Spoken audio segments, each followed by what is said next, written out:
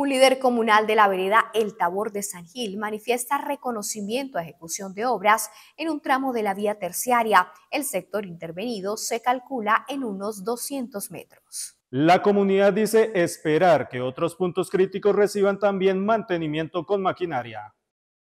Un líder de la Junta de Acción Comunal, Vereda Altabor, y quien también es integrante de Asojuntas, informó que en su vereda, con ayuda de la maquinaria amarilla, se logró hacerle mantenimiento a la carretera. Hice la gestión para el préstamo de la maquinaria.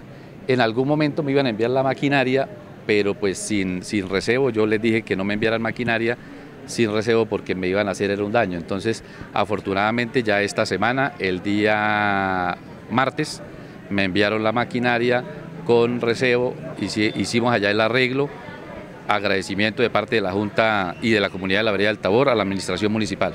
¿Cuánto cubrieron? ¿Qué espacio? bueno, pues prácticamente atendimos eh, tres tramos, tres tramos que estaban dos curvas y una semicurva que estaban ya demasiado eh, lisas.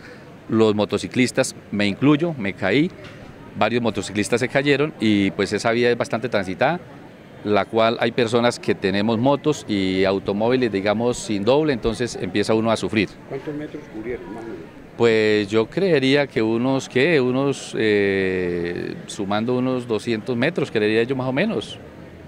Sí, entonces, eh, muy agradecidos con ese arreglo.